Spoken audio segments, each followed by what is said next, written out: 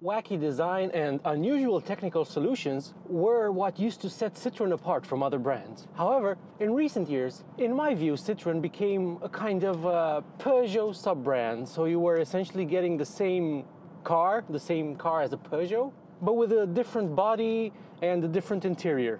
And I remember that a few years ago, Peugeot announced that it was making itself the primary brand of the Peugeot Citroën group and that Citroën would be more of a budget-friendly option. In other words, they made Peugeots the fancy cars and Citroëns the more affordable and slightly funky ones. And I honestly think that that approach diluted the Citroën brand, which is one of the best automotive brands with the best heritage and the best history.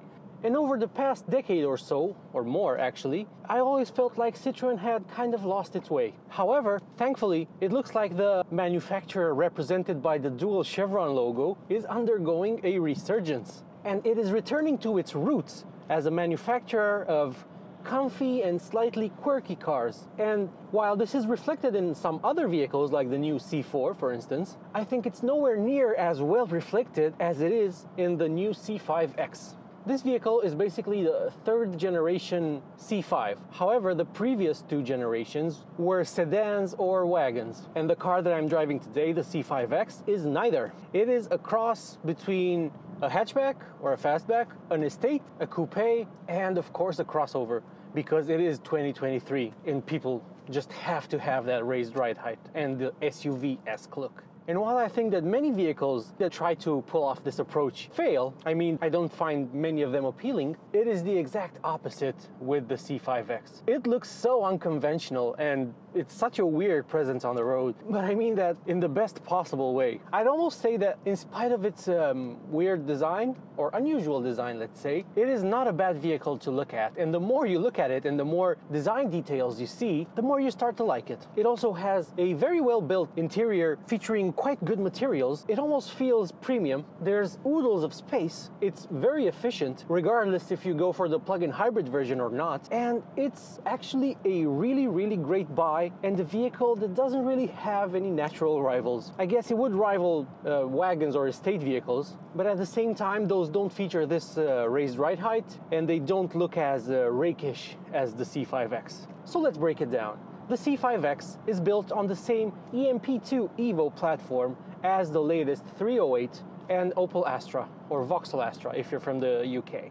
This means it inherits those vehicles' engine options, bar the diesels. So the base vehicle has a 1.2 liter three cylinder turbocharged engine that makes 130 horsepower. And even though you might think that that's not enough for this vehicle because it's quite a big vehicle, it's over 4.8 meters in length, it's actually fine for most people who um, just want to cruise around because the vehicle isn't especially heavy. Then there's this version that I'm driving today, the 1.6 liter four cylinder turbocharged engine with 180 horsepower and 300 newton meters of torque. This is enough to push the C5X to 100 kilometers per hour in under 8 seconds. And in all honesty, when setting off, it actually feels quicker than that. The top of the range powertrain option is the plug-in hybrid. It relies on the same 1.6 liter turbocharged 4 as this version that I'm driving today, but it adds an electric motor for a combined total of 225 horsepower and it drops its sprint time to 100 kilometers per hour by around one second. It's also over 100 kilos heavier and it has a few features that this version doesn't have. Even though all C5Xs have the special hydraulic bump stop, which basically means that this car's suspension has its own suspension, so it's extra comfy without relying on adaptive dampers, you can actually get adaptive dampers in the plug-in hybrid, and the vehicle also gets a camera that reads the road in front of the vehicle, and it can see imperfections and potholes, and it increases comfort by slackening the suspension off whenever it sees that you're about to go over some unevenness. I bet that makes the vehicle even more comfortable and it probably reduces body roll and uh, pitch and dive. I actually don't think that it's necessary, especially since you're not going to drive this vehicle sportily. You're not going to throw it into corners. It is not about that. So even though the plug-in hybrid, which is also a bit heavier, is probably even more comfortable, you honestly don't need the extra complication and adaptive dampers. That card gets a dedicated comfort mode, which isn't available in this vehicle, which doesn't have the adaptive dampers. And coming back to the powertrain for a second, I honestly really feel like this 180 horsepower engine is perfectly adequate for this vehicle. And as I said, I feel it is a bit quicker than the figure suggests. So let's put it in sport. Let's build the boost.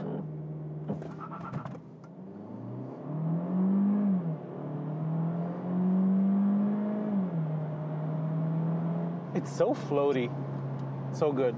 It does, of course, lean into the bends a little bit, but it's honestly reasonably well controlled, and I can't believe I'm saying this, but the steering is surprisingly accurate, even off center. It gives the vehicle a vague, vague sporty feel, but this is the only sporty part of the driving experience because everything else is um, clearly geared towards comfort, and that's perfectly, perfectly fine. In terms of its ground clearance, this vehicle is marginally higher than a normal vehicle, but lower than an SUV. And some have said that it doesn't have any natural rivals, which it doesn't, because there isn't another vehicle of this type.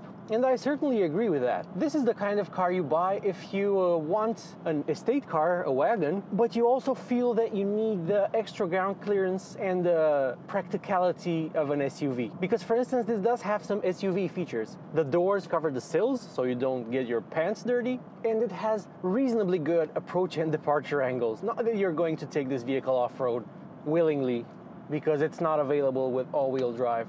And I actually think that it's all the better for it, to be honest. Space in the trunk is also reasonably good. It's 545 liters, or if you opt for the plug-in hybrid version, that drops by um, 80 liters, I think, but that's still pretty good. Space for passengers in the back is remarkable. Taller adults who are over 6 foot or 180-ish centimeters tall might start to struggle for headroom. However, the seats are so comfy that you can slouch down and really, really find a nice position for hundreds and hundreds of kilometers. The levels of legroom in the back are very, very good. You can stretch out with no problem. I mean, I have no issues fitting behind myself in my ideal driving position, which is quite far back and all the way down. This car also gets Citroen's advanced comfort seats as standard. They're an option on the smaller C4, but they come as standard here. And essentially, it's um, the seat equivalent of what Citroën has done to the suspension. Because there's the usual padding that seats have, and then there's also a layer of memory foam, soft memory foam on top of it, which cushions the cushions. And it really works. These are some of the best seats that you can find in a non premium car these days. They're really, really good, and they really help this vehicle um, achieve its goal of being ridiculously comfortable, which it is. The vehicle is also remarkably quiet, even at speed. I'm doing almost 100 kilometers per hour now, and it's really, really quiet. You can optionally add double glazing to all four side windows, and it is really quiet for a vehicle of this type. Interestingly, this vehicle is built in China and is perhaps also aimed at the Chinese buyer who values a lot of rear legroom. And there's even these buttons here that you can control the passenger seat with so you can push it forward or back and move the backrest. You can change the angle of the backrest just to make sure the, the passenger that sits uh, diagonally from the driver in the back is as comfortable as possible. Now this is a luxury car feature and it shows Citroen's intention with this vehicle to woo buyers away from traditional premium vehicles and try its more affordable take on a very comfy cruiser. From the driver's perspective, you are greeted by a very nicely designed interior with a tiered layout, nice materials, especially on top of the dash. This is soft, this is soft. There's a very interesting fake textured wood that actually has the same uh, texture as the, um, this plastic here, this gray plastic in the middle section of the dash. I'll put some B-roll in to show you what I mean.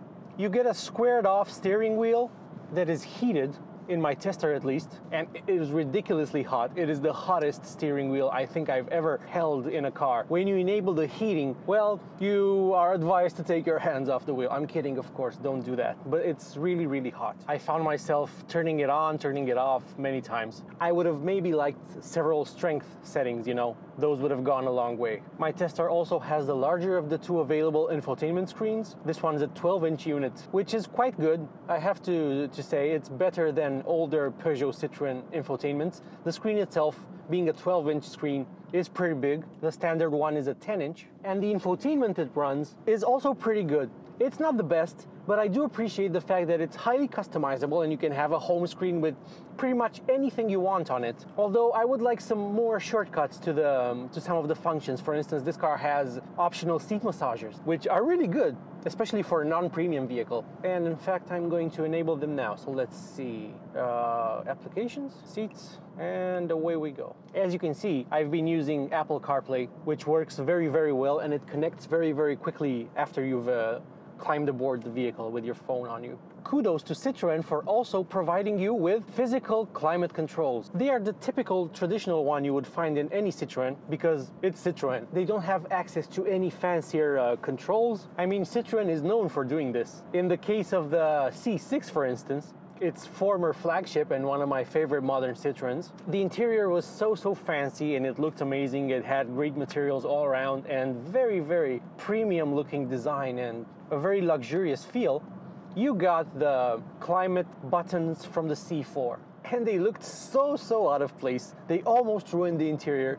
I'm pretty sure every reviewer who had a chance to drive one of those back in the day, they said that, oh, the interior is amazing, but what's up with this C4 nonsense here? And while it's not as jarring with the rest of the experience in this vehicle, in fact, the controls feel nice and damped and they are of reasonably high quality, I really am a fan of traveling aboard this vehicle. It's super nice. All doors have big door pockets, the uh, armrest cubby is big, you get two big cup holders here in the center. And by the way, this element has a nice floating design to it. The one that houses the, the cup holders, the selector for the transmission, the driving modes, and the electric parking brake. It sits slightly higher than the console itself, and it's a very stylish way of integrating it, and it's subtle. Citroën again is showing off its design prowess in the little things that you may not notice. And I appreciate the subtlety. This is the first Citroën ever which gets an actual 360 degree view system with cameras all around the vehicle. My tester doesn't have it, it still relies on the same old system that uses the backup camera to create a top-down picture of what's around you. But even this is better than in older Citroën. So even if you don't go for the optional 360 degree system, you still get a better picture of what's around you than in older Citroëns. And this is also helped by the fact that the new 12-inch screen is of higher definition than anything I've ever seen in a Citroën before. The display in front of the driver is not my favorite though. It is really, really small, really, really lacking in information. And I don't know, I would have liked to be able to see more on it. Because sure, you can configure it so you can have nothing, you can have the map displayed on the screen. I guess that's pretty good, but you have it here. So why would you have it displayed in the small screen? You can also have a rev counter. Citroën would tell you that the reason they did this was because you also get information displayed on the head-up display, which is fair. For instance, the, um, the speed limit, you cannot see it in the small display, but you can see it in the HUD. When it comes to the driving position, you don't sit as high as you might think in this vehicle. You can get the seat reasonably low for a vehicle of this type. I mean, I feel like I am sitting in this vehicle rather than on it, and I like that you can adjust the angle of the seat base so as to support your thighs. This for me, ever since I put sport seats in my BMW and I threw the standard ones away, and I realized that you can tilt the the seat itself and have an extending thigh support, that was a game changer for me. And well, it ruined many car seats for me. I would have liked an extending cushion for the for, for your thighs, of course, which this doesn't have. But the fact that you can raise the uh, the front part of the cushion to support your thighs is great. And these seats are so so good. They don't have lateral support, but do you want it? No, because you're not going to drive this around corners particularly quickly. Because it really really rolls. And it feels like it's floaty, but in a good way. You never feel like you're out of control or something. I really like this interior. It's very, very good. And you get lots of subtle detailing. So I was mentioning the pattern on the wood that's also repeated on this gray plastic here. Well, that pattern is comprised of chevrons. And you also get to see some chevrons in this very, very cool stitching here on the leather on the door card. And it's also present on the seats, on the upper part of the seats with the gray leather. What else is there to say about the interior? Well, one thing is how you adjust the height of the HUD. and you actually use the controls for the mirrors. So there's a special position on this switch here, and if you set it to the HUD, you can then adjust its height without having to go through menus or uh, having a truly dedicated button. Well, this is a dedicated button, but it's multi-purpose, and you can also fold the mirrors with it if you so please. The HUD itself, let's talk about it for a second.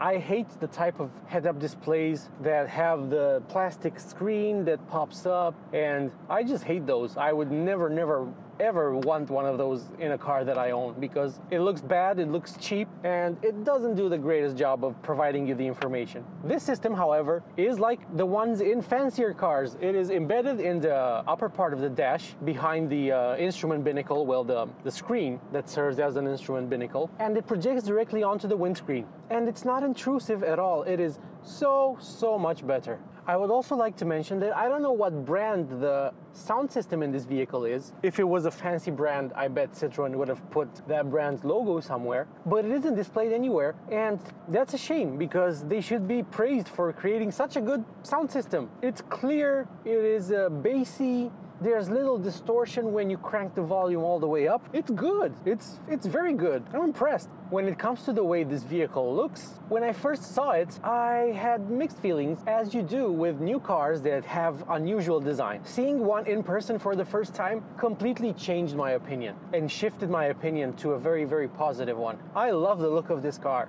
and I hate crossovers. I don't like the look of crossover. I don't like mini SUVs.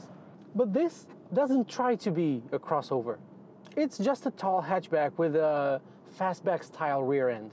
The front end is dominated by V-shaped lights, as is the rear end, and they give the vehicle a very, very unique look. From the side, I like the fact that you can get the roof in black, so you can have it contrast with the body, which in this case is a pearl type white, whose name I forgot. And I really like the floating roof design. There's also a chrome strip that runs along the upper part of the of the side windows, and I also think that's a very nice touch. It it looks good for some reason. It's not something that I usually notice, but in this vehicle, it looks really nice. My tester rides on 19-inch wheels, which don't seem to affect comfort at all. I imagine that this would be even better on smaller wheels, although you might also um, increase some of the negative handling characteristics of a vehicle that's this soft and floaty. So the steering might feel less connected than it does in this vehicle with the 19 inch wheels. And it might feel even more wallowy and roly-poly, as they say. This is pleasantly roly-poly. I also like the rear end design. The hatch in the back actually has two spoilers. One is mounted on the roof and you may not notice it at first. And there's another one which is lower down on the hatch, which is a combination of a ducktail and a whale tail. It's somewhere in between those types of spoilers. And I think that while they don't make the car look sporty, they certainly add visual interest. And I bet Citroën will tell you that they are also functional. This vehicle also has very pronounced flanks that, you know, it's almost voluptuous, but I would stop short of calling it voluptuous but it's certainly not flat and uninteresting. And to be fair, it looks like a Citroen, so I think the automaker nailed it. I also like the shape of the mirrors. They seem very uh, feminine and nice and sculptural, although they could have been maybe a bit bigger, but they look good, so I accept the trade-off. All in all, I'm pleasantly surprised by this vehicle. I think it shows the fact that Citroen is trying to um, reaffirm its brand ethos, finally, after many years of living in Peugeot's shadow. And I hope that they bring out more cool, interesting, and genuinely desirable vehicles like this C5X. My Shine trim level tester costs around 38,000 euros, and that includes, uh, I think it's a 2,000 euro discount from Citroën Romania, if I'm not mistaken. And you can still add some options to it, like uh, the panoramic glass roof that opens and a few other bits. A fully loaded top-of-the-range plug-in hybrid is over 50,000. And I think that makes it um, less desirable than this vehicle with the mid-range powertrain, which I think, again, is the one you should have. It's really, really pokey. Cruising up to this road on the highway doing the speed limit and a bit over, I was impressed by how linearly this vehicle pulls at high speeds all C5Xs come with the same 8-speed automatic gearbox as standard, and it does a perfectly good job of shifting gears at higher speeds. It is somewhat jerky in town and setting off, and in the first three gears, you you do feel um, a bit of unpleasantness when it shifts gears, but it's not bad. And at higher speeds, it's perfectly adequate.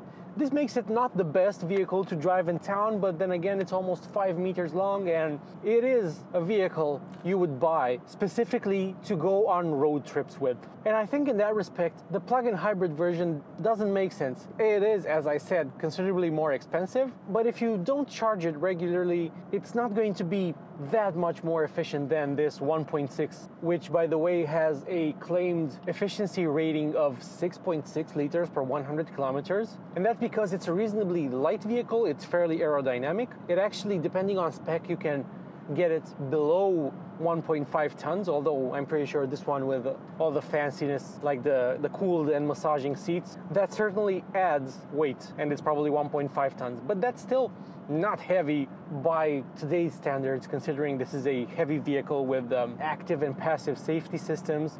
For instance, it has adaptive cruise control that works very well, autonomous emergency braking, it holds the lane, and if you're like me and you don't want a pointlessly tall crossover, whose extra height you don't really need 99.999% of the time, this vehicle is perfect. I can't stress enough how much I like it. I'm really happy to have been given the chance to drive it and uh, open my eyes, frankly. It's a great piece of kit. Take it for a test drive and um, especially if you like the Citroen brand as I do, you will definitely, definitely appreciate it.